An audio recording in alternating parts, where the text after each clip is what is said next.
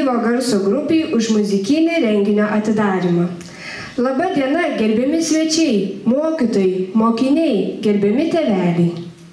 Labą dieną, mokyklos bendruomenė. Jau greit į savo sielą įleisime pačią gražiausią metų šventę - šventas kalėdas. Su visais savo prisiminimais susėsime prie kučių stalo, ant kurių jau skleidžiasi susitaikymo ir atleidimo žiedai. Na, o šiandien mes visi pabūkime kartu, toj pačioj žvaigždėj, toj pačioj tyloj, toj pačioj vilty ir šią šiltą šventę paminėkime kartu.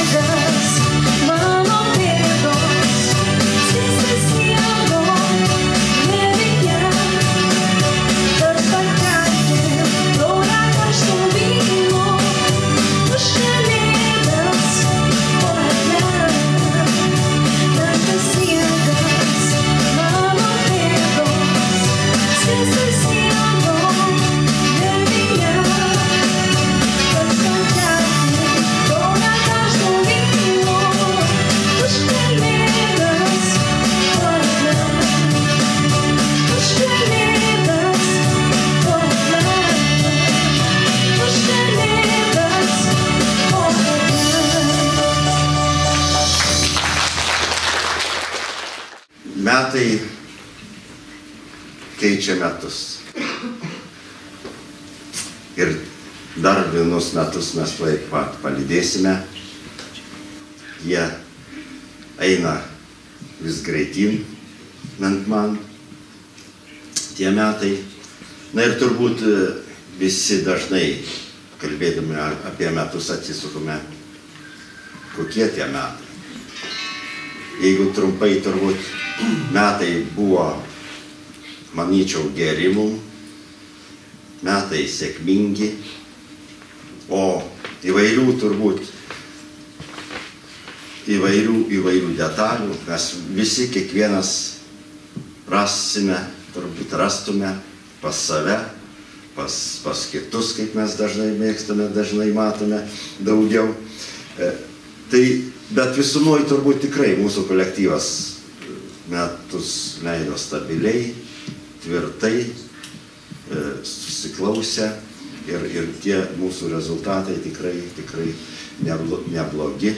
Na, o jeigu imsime vaikus, kurie mūsų pagrindinis uždarbis ir, ir darbas, tai tikrai mes pas mus jų atėjo visai tikrai nemažai ir visai tikrai normaliai mes susikomplektavome ir, ir pradėjome, sakykime, mokslo metus šiais metais. Todėl reikia mums visiems pasidžiaugti, kad ateinantis ir kiti tikrai nebūtų, kaip sakoma, dažnai blogesni, o tik, tik geresni.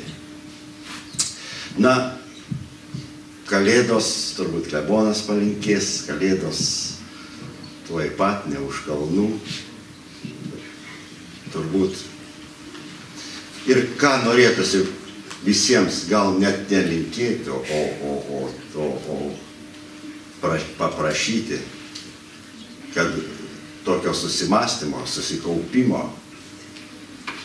pirmą, turbūt reikia pasidžiaugti, ką aš norėčiau pasakyti, kad mes galime sueiti visi, kartu pabūti visi, kartu pasidžiaugti vieni kitais. Tai jau didelis, didelis, sakykime, toks mūsų, toks mūsų e, pa- pasidžiaugimas, pasiekimas. Dabar dažnai žmonės net negali sueiti vienas su kitu, sueiti pabendrauti. Tai čia yra didžiulė, turbūt didžiulė mūsų tokia džiugesys ir, ir, ir, ir prasmė. Kita, ką norėtųsi, kad mes būtume vienas kitam pakantesni, kad mes vienas kitą gerbtume, kad mes vienas kitam padėtume, pagelbėtumėte, pagelbėtume, e, kad mes vienas kitą suprastume, kad mes suprastume, kad mes kartu galime padaryti tik tai didžiulius darbus, o ne atskirai kiekvienas. Žinoma, kiekvieno indėlis yra labai svarbus, bet, bet kartu mes galime daug, daug, daug daugiau visko padaryti. Norėtųsi, kad mes būtume e, kolektyvas, kad mes būtume turėtume savo, savo bendrus tikslus ir tų tikslų mes visi siektume. Na, o kalėdos, kalėdos turbūt šeimos susikaupimo metas, kad džiugių, gerų kalėdų jums,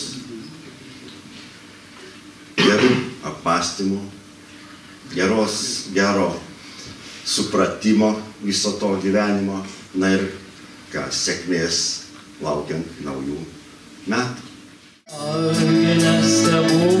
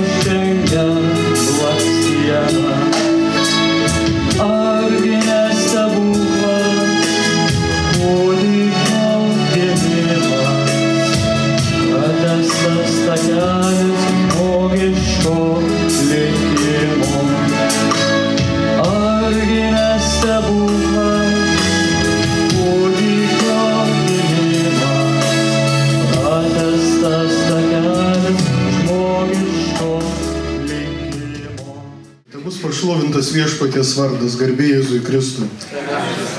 Labai dėkoju nuoširdžiai mokyklos direktoriui, visai bendruomeniai, kad pakvietėt į šią popietę, paskutinės tas advento valandas jau galima sakyti, tuoj pat švesime kalėdas, bet aš kažkaip klausydamas pranešėjų čia, kai jie pasakojo apie kalėdų eglutę, prisiminiau savo tą trumpą mokytojų karjerą ir kaip aš mokydavau vaikus ir man dabar kaip mokytojui užėjo didelis noras šitą papasakoti, jeigu nieko prieš.